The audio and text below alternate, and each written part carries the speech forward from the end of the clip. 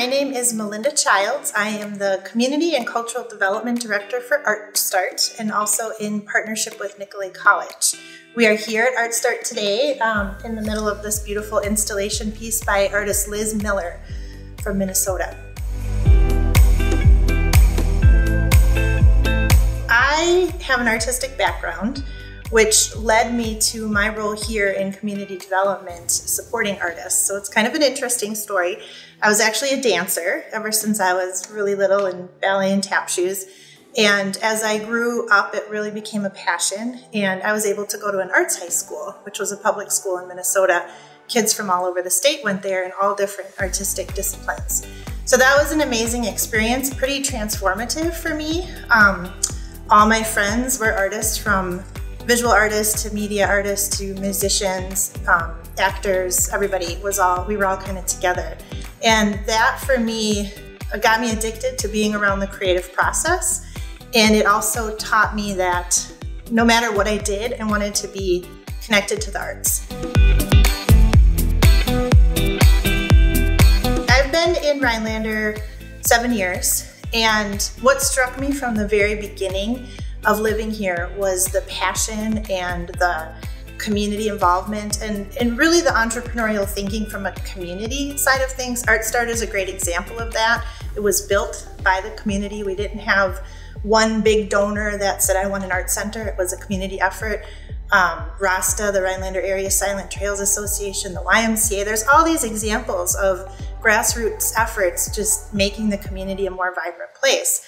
So as I lived here, um, I, I realized, and from the beginning of ArtStart's mission, they really wanted to support that broader community development as well as the cultural development inside of our walls. So as we grew as an organization and as my strengths became more apparent as being sort of a community connector and entrepreneurial thinker myself, we kind of led to where we are today with this joint position, this partnership with Nicolet, really focused on providing that direct support and encouragement for just some creative community projects and collaborations and development and, and um, bringing the artists into that and that solution. Probably the biggest challenge would be time management and prioritization. And particularly when you're working with a lot of creative people, there's a lot of great ideas that come up. And you and I, I don't know if everyone is like this, but I want to do them all. And I sometimes forget that I'm only one person or we're a small organization or even a small community with limited resources. So I think it's really difficult to try to take a step back and understand, you know, what is the right thing to move forward at the right time. Think the, the biggest success that I can see is how much the community, how much these community collaborations are paying off.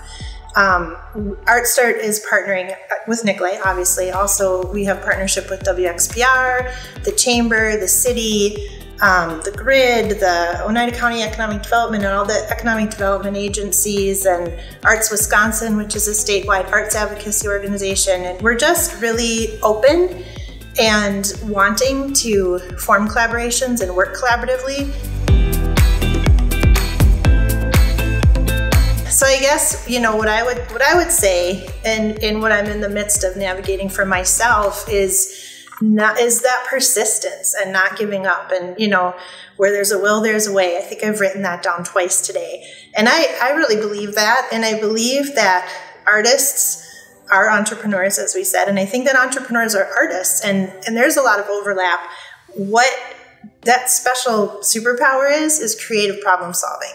So when you figure out your direction or your vision and what you want to do, I think that it's just most important to to do it. And if it's not working one way, look at it from a different angle. If it's not working that way, turn it on its head. And again, I think that's our strength as creatives and I think that's that's what's going to get us through.